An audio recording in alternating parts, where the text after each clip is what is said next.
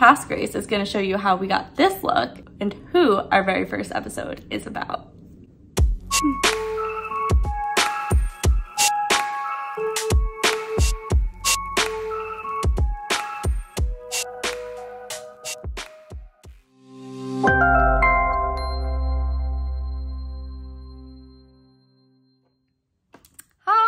Welcome back to the channel and happy new year. This is a very exciting video because we're actually starting a brand new series on this channel. It's called Magical Makeup Mondays. This is where I sit down with you, I get ready for my day, and we talk about something magical. It could be Disney, Universal, maybe it could be completely unrelated to the two.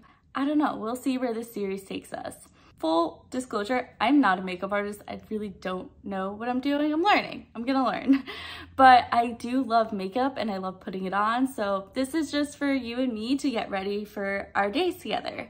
I'll leave everything linked down below. If you like this new series and enjoy while you're watching, please don't forget to give it a thumbs up and subscribe so you never miss a magical makeup Monday again. So when I was first deciding on what to do for this series, I was wondering like what I should do for the first episode and I decided that one name really came to mind and that name was Walt Disney. I figured it was kind of hard to do a series that's like magical and whimsical without kind of starting with his story. Disney has become just a household name. It's not every day where you come across someone who hasn't heard of the Disney companies or a movie or something related to the Walt Disney World. But how did this kind of all come to be? Well, our story first begins on December 1st, 1901, when Walter Elias Disney was born in Chicago, Illinois. Walt was one of five children, four boys and one girl. Walt was the fifth son though. Walt's dad was a carpenter, a farmer, and a building contractor. Walt's mom was a public school teacher. Just five years after Walt was born, the family actually moved to Marceline, Missouri. It's said that Marceline was actually the inspiration for Main Street USA that we know and love in the parks today. I know whenever I work down Main Street USA, I just get like this crazy like feeling of nostalgia and magic and I don't know, there's just something very special about Main Street USA any time of year. Walt would ends up growing up on a farm and at the small age of five, he discovered that he really loved drawing. Well, another four years goes by and Walt's dad actually has to sell the farm in Marceline due to some health issues. One year later, the Disneys packed everything up and moved to Kansas City, Missouri. Here, Walt was a paperboy and discovered his second love, which was movies. Just six years later, Walt and the Disney family ended up moving yet again, but this time they go back to their roots, to Chicago. It's here in Chicago that Walt actually ends up enrolling himself in the Chicago Academy of Fine Arts in efforts to pursue his dreams. However, the pursuit was put on pause shortly after as Walt volunteered to serve as an ambulance driver for the American Red Cross during World War I in France and Germany. Fact, Walt actually lied about his age to get into the ambulance corps. Nevertheless, one short year later, Walt makes his triumphant return and gets a job at an art studio for a whopping $50 a month. Today, that's roughly $899 a month. I don't know about you, but here in New York, it's very hard to live off of $899 a month. So you go Walt. anyway, in 1920, Walt meets a man named Ub Iwerks. The two of them were like two peas in a pod and they formed a company together but sadly it fails after just one month. In fact, the pair got a job at Kansas City Slide Company and here is where they discovered the wonderful world of animation. While working with KC, Walt decides to start his own side hustle and create created Newman Laughograms, which produces advertising and story cartoons. Just two years later, Walt incorporates Laughograms with $15,000 from investors, which is roughly around 240 no, $257,000 today. Sounds like a lot of money, except the venture also fails and goes bankrupt within the next year. Walt then decides he's going to set off to Hollywood with barely any money, his brother Roy, and just a dream. Walt and Roy formed Disney Brothers Studios less than one year after Laugh-O-Grams goes bankrupt. Remember Ub? Yeah, they bring him on the team along with a woman named Lillian Bounds who they bring on as an inker. Well, one year later, Walt marries Lillian. Crazy, right? Things for Walt are really starting to look up. The brothers renamed the studios Walt Disney Studios and move into a new building on Hyperion Ave. In 1927, a film distributor contacts Walt Disney Studios to create animations based on a character named Oswald the Lucky Rabbit. Guess what? He was a huge hit! So much so that Walt needed a bigger budget to continue with his great success. Unfortunately, not only did the distributor owned the rights to Oswald the Lucky Rabbit, they also attempted to take over Walt Disney Studios completely. Walt was basically left with no choice but to abandon his little rabbit friend. As we've seen by now, not much was gonna stop Walt from chasing his dreams, and this was no exception. In 1928, Walt created Mortimer Mouse. Yep, that's right, Mortimer. his wife Lillian pushed him for the name to be changed, and thus Mortimer then became the one and only Mickey Mouse. In 1928, Steamboat Willie was produced, which was revolutionary in the world of animation. It was the first cartoon that synchronized sound and animation together. A star, a little mouse star, was born. How about this for a fun fact? Walt Disney actually first voiced Mickey Mouse and was the voice of Mickey for over for about 20 years. Mickey was an overnight success. Within three years, the Mickey Mouse membership passed 1 million people. I think it's safe to say the whole nation loved this little mouse. In 1932, Walt acquires exclusive rights to the use of three strip Technicolor and puts it to use almost immediately. In 1933, Disney produced a short you've probably heard of called The Three Little Pigs. the short was released during the Great Depression and was a massive hit.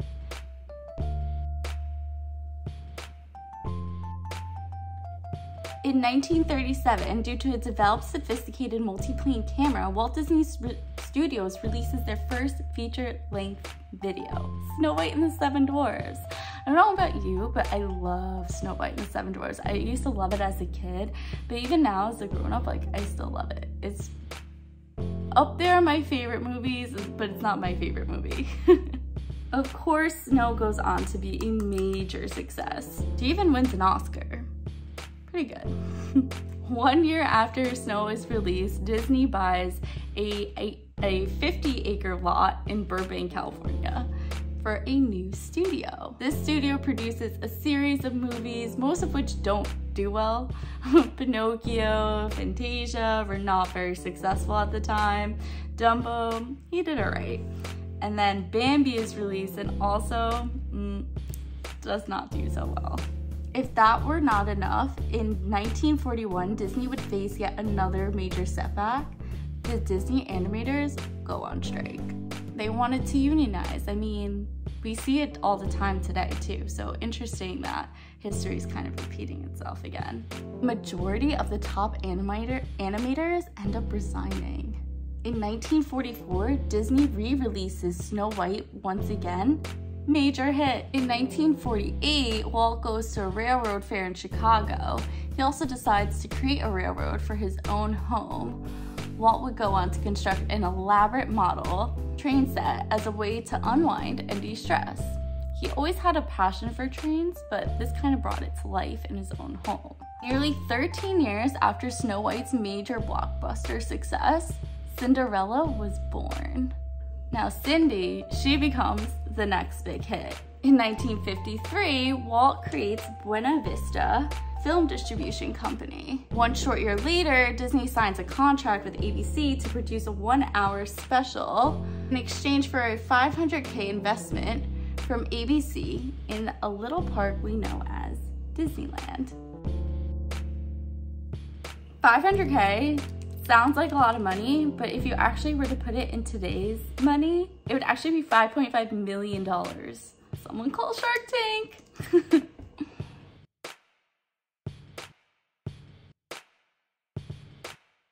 So in 1954, Walt buys 244 acres of land in Anaheim, California, and now we know that to be Disneyland. Disneyland ends up opening in 1955, and within two months, the park receives over 1 million visitors. Another fun fact, Walt actually built his own private apartment. It's about 500 square feet, tiny little thing, on the second floor of the fire station on Main Street, USA. You can actually, if you go to Disneyland and walk down, you can look up and see there should be a light or a candle or something, but uh, some sort of light coming from the upstairs room. That's where his apartment was and it's said to be that like, that is the shining light of Walt Disney. Anyway, fast forward to 1965, Walt Disney Studios also purchased land in a swamp in Orlando, Florida. Walt ended up having dreams of building his second park, which we now know today to be Walt Disney World following year, in early November of 1966, Walt was diagnosed with lung cancer and started to receive some treatment. It was, you know, like the cobalt treatment, but again, it's the 60s, so medicine wasn't as advanced as it was today. Unfortunately, on December 15th, 1966, Walt passes away due to complications from lung cancer. So sad, but he used to smoke a lot. Today, Walt is actually survived by his two daughters. So what I didn't mention while we are going through our timeline of things was that Walt actually had one biological daughter and one adopted daughter. His biological daughter's name is Diane and his adopted daughter's name is Sharon. Walt is also survived by his wife, Lillian. Lillian goes on to live a long life and ends up passing away on December 16th, 1997. So actually not too long ago. I have one question. Did Walt ever sleep? I mean, this man honestly contributed so much, not just to the parks and the movies that we know and love today, but just to the world of animation and movies and the way we're honestly grew, a lot of kids grow up. It's absolutely crazy to think about. I mean, I know I have my favorite Disney movies. My personal favorites are Tangled and Frozen, which I feel like that's kind of a cop-out. Actually, I take that back. My favorite movies are Tangled, Frozen, and then my OG favorite is Beauty and the Beast and Aladdin. I have a lot. I think that's kind of cheating, but it's okay. We'll work on it. Comment down below, what is your favorite Walt Disney movie? Is it something in the Marvel universe? Is it Pixar, now that they acquired Pixar? What is your favorite thing? And that's the other thing, the Disney companies didn't die when Walt died. It lived on to show like amazing stories.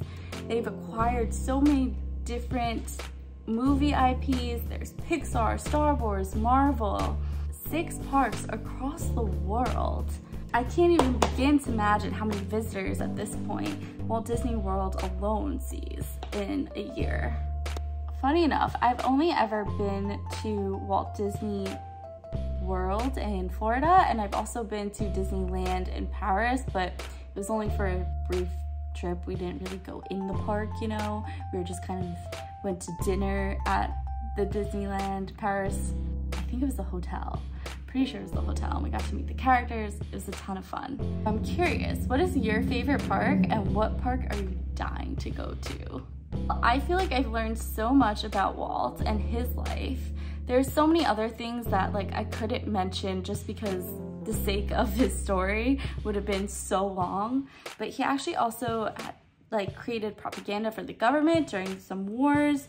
There's a bunch of movies and shorts that came out during that time that are so interesting to learn about. But I tried to stick to the base, stick to the basics of what Walt did which was imagination and animation and his feature-length movies that became hits. Well, some of them, I guess. I don't know, but I kind of like Dumbo and Bambi. Comment down below if Pinocchio, Fantasia, Dumbo, or Bambi are up there on your list. I kind of like them though. I don't think they're my favorite, but I kind of like them. Well, anyway, friends, I hope you had fun getting ready with me today. I sure did, and I learned a ton about Walt Disney's life. What is one thing that you know about Walt that I didn't mention? Because there's so many. This man lived quite the amazing life. Or you could say what your favorite thing that is that you learned from this video.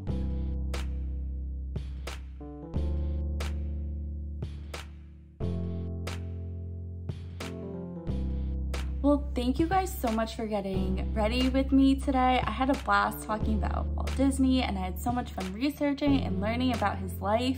He truly lived a really incredible life. This is the final look for today.